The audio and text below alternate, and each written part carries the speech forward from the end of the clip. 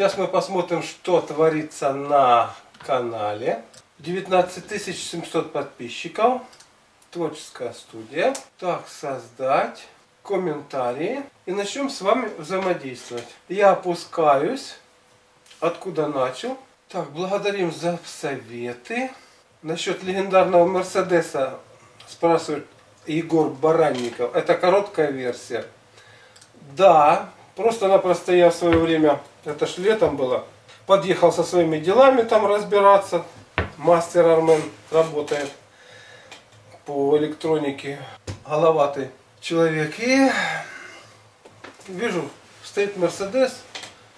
Я заинтересовался, поговорили с хозяином и все. Больше ничего не будет.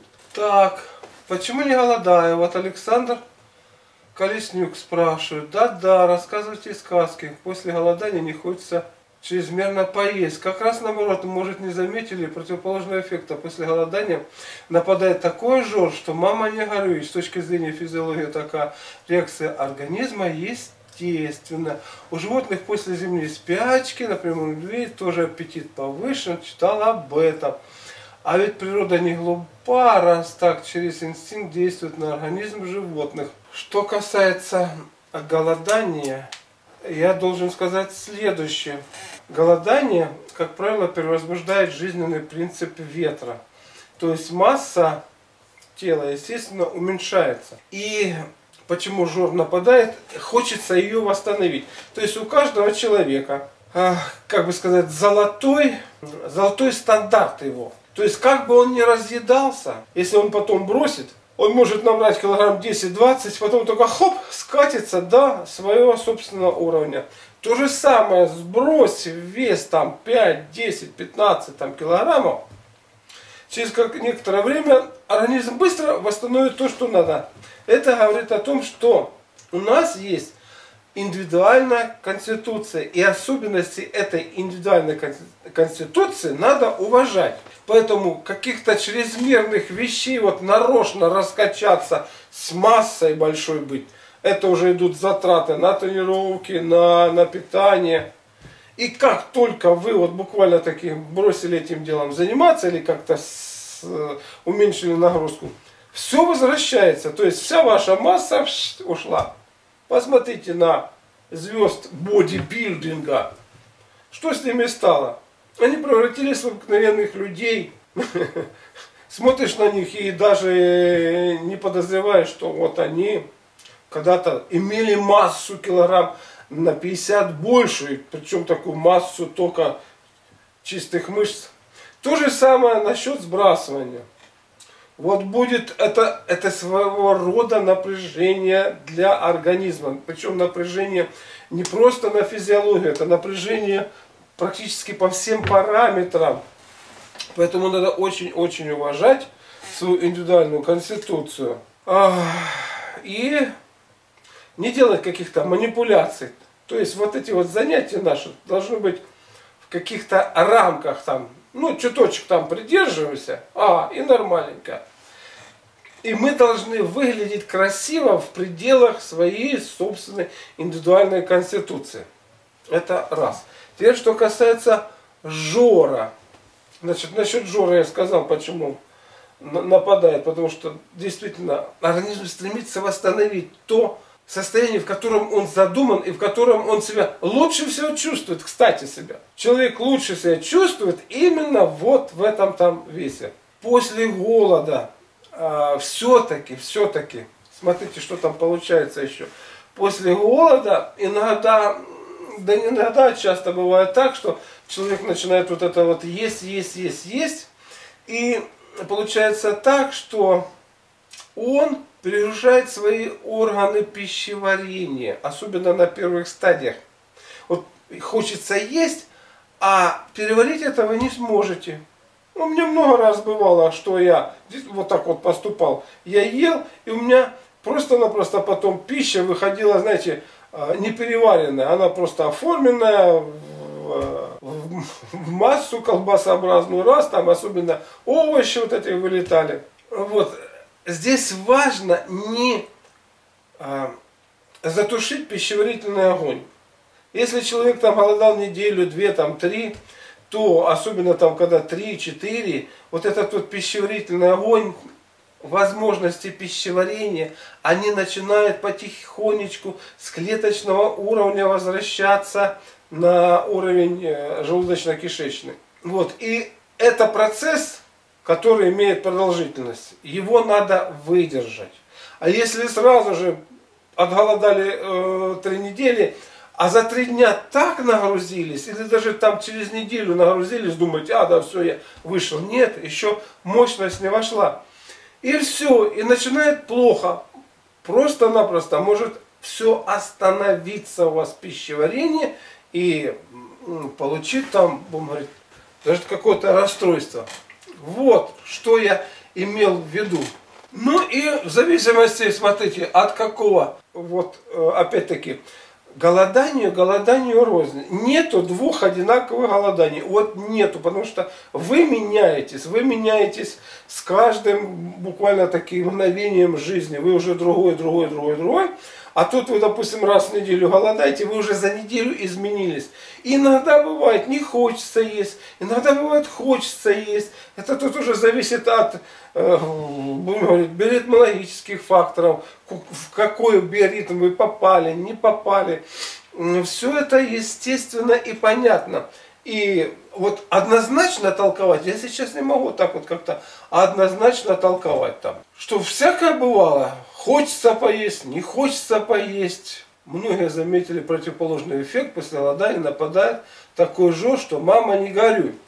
Так вот, как раз вот этот жор и надо сдержать. Не надо набрасывать. Потому что после голодания, смотрите, вообще-то очень хороший этот э, такой вопрос и комментарий. Это если после голодания нападает у вас жор, это говорит о том, что вы неправильно настроились на сам процесс голодания. У нас существует, помимо вот нашего сознания, которое вот я хочу, у нас существует система жизнеобеспечения, которая, если какие-то идут по жизни изменения, она начинает, будем говорить, ага, человек там голодает, она начинает настраиваться на то, чтобы больше съесть перед голоданием, дальше больше съесть после голодания. Она как бы заранее старается предвидеть, что с вами произойдет, и к этому подготовиться. Но если вы четко себе создадите установку, что вы голодаете для того-то, того-то, того-то, это временное состояние для достижения эффекта, который вы хотите получить, а дальше вы опять перейдете к питанию, то наша физиология, наше тело не будет пугаться и отвечать на ваше голодание либо едой перед голоданием, как бы сказать, набраться с запасом, и жором после голодания. Вот это вот разные вещи. Я много вам толкую о настройке сознания. Как только оно настроится, но для этого, вот, смотрите, для того, чтобы самостоятельно вот это вот дойти до всего этого, о чем я сейчас вам говорю, книгах обычно этого не пишут. Надо настроиться, надо настроиться, надо узнать свой организм. На это уйдет у вас там примерно год-два, понять, как организм реагирует, что, что, успокоить его, и тогда будет все нормально с голоданием. Если вы этого не понимаете, ага, я голодаю для того-то, для того-то, того-то, и не понимаете вот этих вот процессов, которые начинают идти у вас в психологии, физиологии, то вот такие вот вещи и будут идти. Так что, Александр Колесник, благодарю за то, что вы тут подчеркнули. Опять Александр Колесник. Это на видео, что больше всего влияет на здоровье и продолжительность жизни. Так, значит, вот он говорит, другие питаются как попало, и образ жизни ведут неправильно, но живут.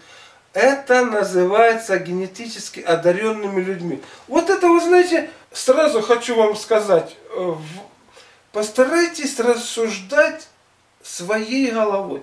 Вот что-то там сказали, знаете, вот, вот, вот это, это там, допустим, от нервов. Весь народ говорит от нервов. Это там психосоматика, это там психосоматика. Ну разбирайтесь вы сами. Генетически там одаренные люди, а можно сказать, одаренные за счет чего? Генетически. Вот так просто сказать, генетически одаренные люди. Это говорит ни о чем. Ни о чем. Вы мне тогда разложите по полочкам, в чем это заключается. Вспомните, например, Черчилля. Тот и курил, и бухал, и лишний вес, и жрал, что хотел, и прожил более 90 лет. А у него индивидуальная конституция была. Вот как раз такая, которая, индивидуальная конституция, которая конституция слизи, которая уже способствует тому, что... Ладно, если сейчас прочитаю еще там он как раз сказал. Вот, и с другой стороны, Крамаров, он был помешан на здоровье, но генетика его была хреновая от рака. Умерли его бабушка, мать, сестры, и он сам в конечном итоге тоже умер от того же рака. Обращал ли кто внимание, что врачи, когда вы к ним пришли с какой-то болезнью, постоянно интересуются, болели ли родственники, родители этой болезнью. Очень много зависит от наследственного ожога. Если наследственность плохая, ничего не поможет радикально изменить ситуацию. Хоть ты тресни, болячка это будет висеть домокловым мечом всю жизнь. Не сто процентов, что заболеешь, конечно, но фактор риска будет пожизненный. Вот смотрите, вот если чисто брать индивидуальную конституцию человека, она зависит от, согласно восточной медицины, от трех факторов индивидуальная конституция. Это от объема занимаемого телом, причем это не просто объем занимаемым телом, а энергия, которая сможет поддерживать этот объем в стабильном состоянии. Эти все параметры, а именно поддерживать объем в стабильном состоянии, то есть мою фигуру в стабильном состоянии, у каждого человека свой. Далее, что в этом объеме совершается? В этом объеме совершается движение. Это движение может, с одной стороны, быть слишком быстрым, если оно слишком быстро, оно пересушивает организм. Как на ветру белье сохнет. Плюс в этом же объеме есть такой показатель, как температура. То есть жизненные принципы слизи, желчи, ветра. И если они сбалансированы, либо же, будем говорить, вот несколько там увеличены, несколько увеличены, это способствует тому, что больший организм, он не так быстро исчерпывает свои ресурсы. Что такое Старость – это прогрессивная потеря следующих вещей. А именно, организм высыхает, организм теряет воду. Мы родились, у нас количество воды в организме там было 80 примерно у новорожденного, если не больше. Под старость у нас там где-то 60. Далее мы теряем теплоту прогрессивно. Старики начинают замерзать. И наконец-таки мы теряем объем. Сначала мы были такие все, знаете, вот надутые, тургор, ткани, все это вот у нас. А потом начинается вот это провисание, вот это вот, вот то есть изменение в объеме. Так вот, если взять Черчилля, видели, какой у него объем? У него такой хороший объем, то есть его индивидуальная конституция была совершенно другая. У Крамерова он был маленьким человеком, ну относительно, он меньше, в два раза Черчилля был. Вот. То есть чисто по этим параметрам, такая даже пословица существует, пока толстый сохнет, худой сдохнет. Это так, чисто житейское наблюдение. Чисто по этим параметрам, значит, вот человек может дольше прожить. Это так, чисто вот. Маленький человек, большой человек. Но, естественно, есть исключения. Важно, важно где-то иметь вот сбалансированное чтобы все это было, все эти жизненные принципы сбалансированы и далее. Потом, вот смотрите, от рака болел, от этого болел, т т т т т т т это уже что-то идет по роду. То есть у человека по роду идет нечто такое, что передается из одного поколения в другое. Это очень интересная вещь, о которой наши предки знали, что вот что-то идет по роду, я не хочу сказать там типа проклятие, ну какая-то вот червоточина идет по роду. И она, естественно, вот так как-то там косит. То есть это вообще какая-то другая область знания, которую, которую лучше мы сейчас не, не будем там углубляться, что-то там рассуждать, но просто скажем, что это есть. И это действительно есть. И, наконец-таки, опять от чего зависит э, здоровье, как я сказал. Здоровье, я лично считаю, больше зависит от вашего умственного настроя. Я не зря говорю, что есть такое понятие, как справедливость, то есть все справедливо.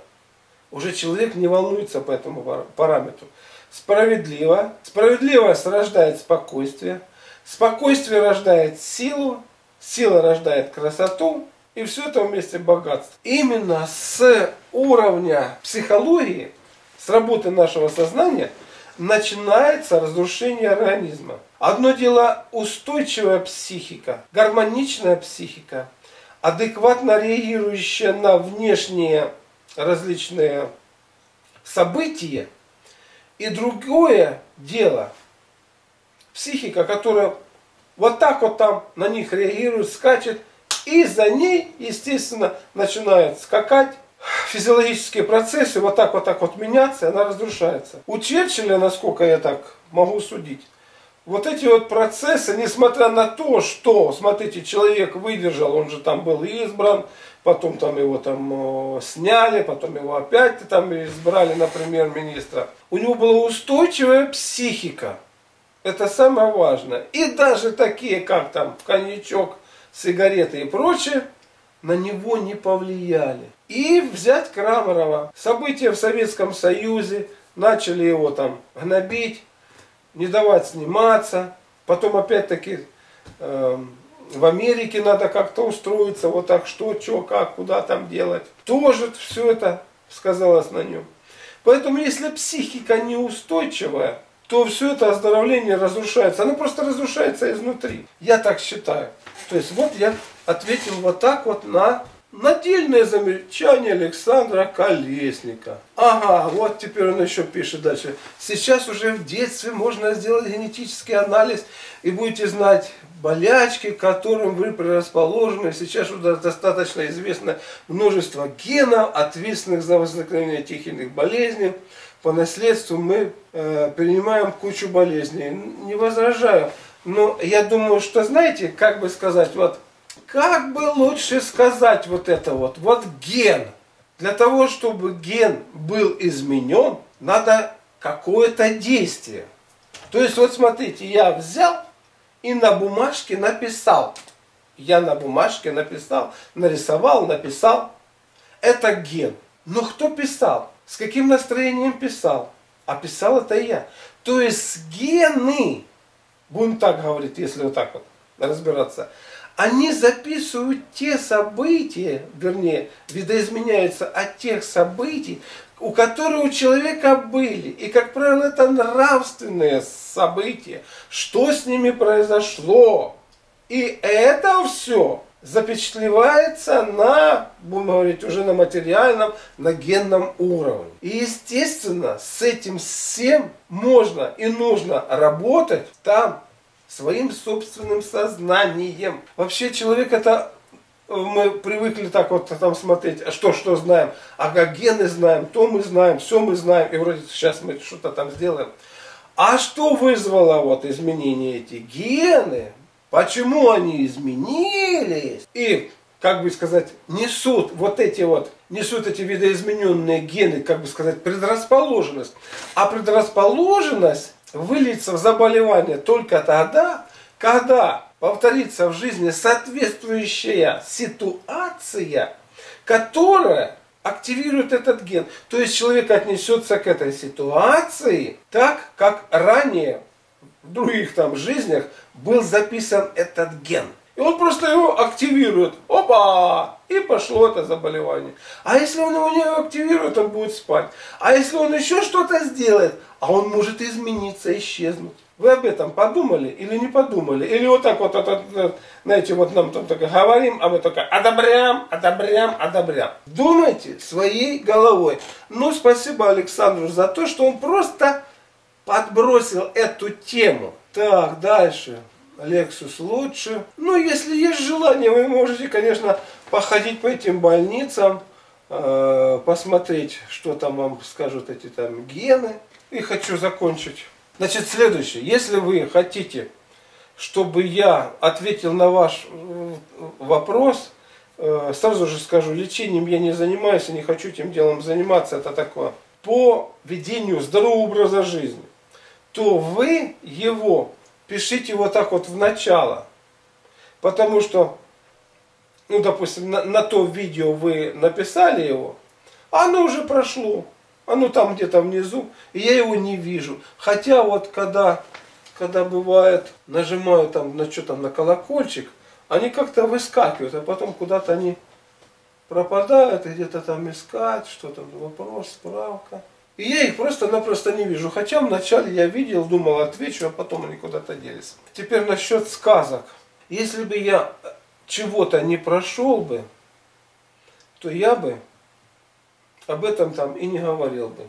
Хотя есть, знаете, такие, будем говорить, наглые люди, которые что-то где-то слышали и вот односторонне что-то там рассказывают, рассказывают, рассказывают, рассказывают, рассказывают. И все. Что, мол, это вот так и не иначе. Давайте так выложим этот видосик. Я думаю, он хороший.